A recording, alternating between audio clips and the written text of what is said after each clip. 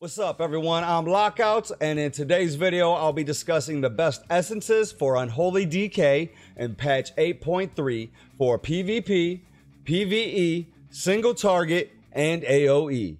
Check this out, baby.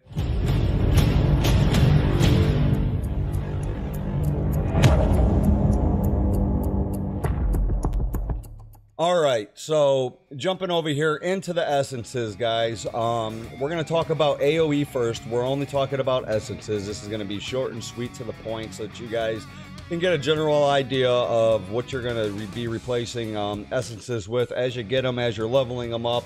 Um, this is just gonna be a couple of different quick sims so that you guys understand where to go with your builds, how to use them so that their best abilities and you know you guys can go from there hopefully you guys are simming all your characters so that you know your stat weights and priorities your weaks and strengths or your weaknesses and then your strengths so when you are using these essences and you're combining them together so that you are able to maximize your DPS output, whether it's for AoE or single target. Now, I'm going to talk about AoE first, okay? Um, a lot of, I went and I've researched page after page after page in World of Warcraft, and you know, I, I haven't ran my DK enough to know every single essence and unlock them all uh, along the way. But I have done enough research and I have uh, played DK since they came out and know enough about them that I am able to relate this information to you. Uh, so, from what I've seen from the general consensus of the community, from the top tier DKs, what they're running on keys for big cleave situations or even in raids for big cleave situations if, if, if that's what you want to run. Um, raiding, you generally are going to run a single target build because you want to do as much DPS as you can to the boss because that's generally where 90% of your fight is going to be spent is on the boss anyways. Um, anyways, going back into AoE the general consensus of the top tier uh, DKs that I've seen in multiple dungeons, and we're talking about cleaving dungeons like uh, Freehold and Waycrest and uh, Underrot, Motherlode, you know, big pulling situations what you're going to do is be running Blood of the Enemy, okay? And the reason that they're running Blood of the Enemy with all these other minors like Focusing Iris, uh, Breath of the Dying, and Crucible of Flame in their other minor slots is because they want the minor traits abilities to proc off. They want their haste from the Focusing Iris, they want the uh, um, fire damage from the Breath of the Dying, they want fire damage from Crucible of Flame, okay? Um, what what ends up happening is is when you have your ghoul and dark transformation and you have festering wounds on all your targets and you drop your death and decay your unholy frenzies out and you're about to bust all these wounds right before you bust them all and you have all your festering wounds already applied to your target that's when you're going to pop off your blood of the enemy. That's going to be in your main slot. The reason that you use it like this is because when you're about to bust all these festering wounds you get your crit bonus damage from blood of the enemy, and you do insane amounts of AOE cleave, and it's it's it's pretty incredible what you could actually generate with an uh, uh, unholy DK that's cleaving to his max potential with uh, blood of the enemy. Um, going over into single target. Now, there's also, uh, before I say single target, you could also replace Blood of the Enemy with your Focusing Iris if you wanted to be a casting DK. It's just it, has got too big of a channel um, compared to Blood of the Enemy because at the time when you're ready to burst, uh, you want it to be real quick and you want to pop all your festering wounds. That's why you're going to pick Blood of the Enemy over your Focusing Iris because you're not popping your festering wounds and getting the critical strike bonus uh, if you would use Focusing Iris. So if you don't have Blood of the Enemy leveled up and you do have Focusing Iris, you could probably pick it at that point.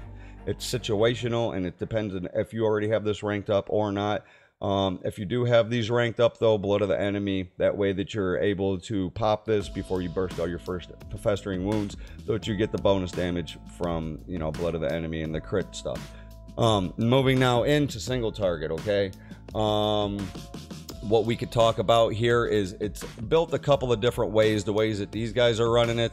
Um, with Vision of Perfection, your apocalypse is reduced by 20%, so you're able to apocalypse more. And this is going to be for PvP or PvE situations, okay?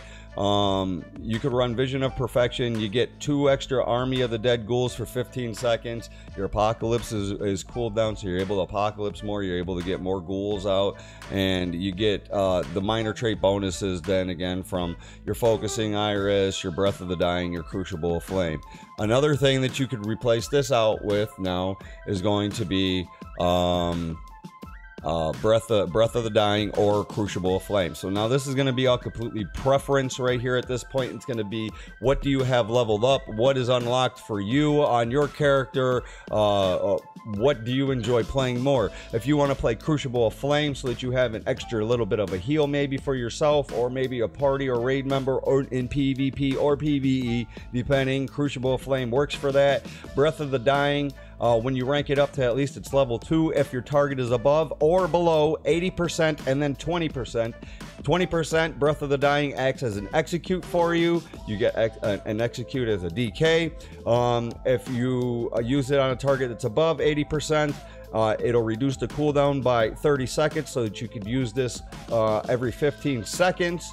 Um, it synergizes a little bit better with your play style and the way the uh, adds are dying throughout the dungeons. That's why uh, a lot, a lot of DKs are running Breath of the Dying right now over Blood of the Enemy. Blood of the Enemy, there are, I mean, uh, Crucible of Flame. Crucible of Flame is good as a minor because, you know, you end up getting that extra little dot and stuff like that. So you could put it on a minor for your uh, three minor slots that you have, or you could run Crucible as a main and then switch it back out for Breath of the Dying. It's really kind of up to you. What What is higher? What do you have that's unlocked at the time? Um, another thing that I see a lot of DKs are running, man, is conflict and strife. Conflict and strife gives you verse, verse, verse, verse, verse, verse. It's crazy. It's insane. The versatility for an unholy DK is extra mental just for the simple fact of you get your healing bonus benefit from your death strikes and especially if your death strike is proc you get that extra you know healing bonus from a proc that dk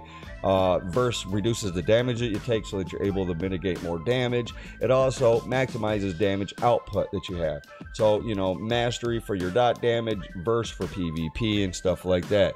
Single target again we're going to go back over this real quick. It's going to be breath of the dying or or Crucible of Flame, depending on what you have in your major slot. Uh, Crucible of Flame or your Breath of the Dying in a minor slot. You're going to want your Blood of the Enemy in there so that you get a haste bonus benefit after it reaches 40 stacks from Blood Soaked.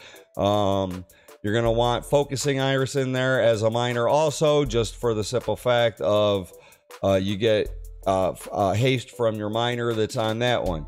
Uh, if you're in AoE situations, you run Blood of the Enemy. The reason that you're running Blood of the Enemy is because you get ready to pop all your festering wounds. When you get ready to pop all your festering wounds, you pop your blood of the enemy, you get the damage benefit bonus from the critical strike that's on there.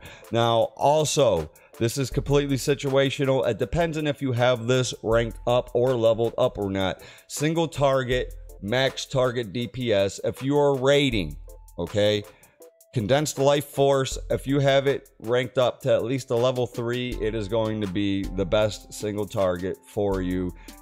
Everything that I've simmed, everything that I've asked other top tier DKs, other DKs that are all on the charts right now, I, see them all simming the same thing.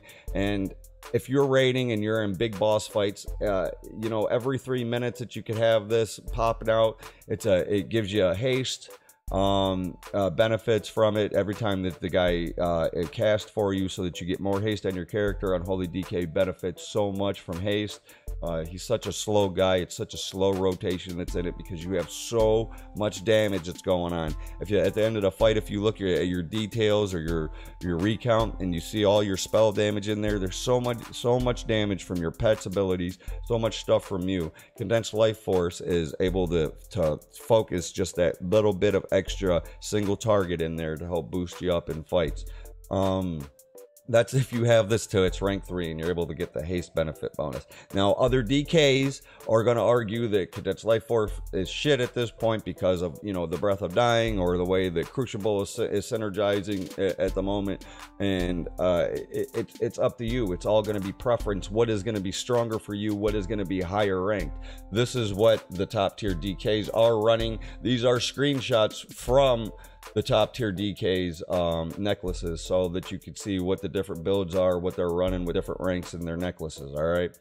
Uh, if you guys learned anything from this, if this helped you out a little bit, if this got you started in your journey to be an amazing unholy DK, do all the things to help a fella out like me. Like, follow, subscribe. I'm LockOutz, baby. Peace.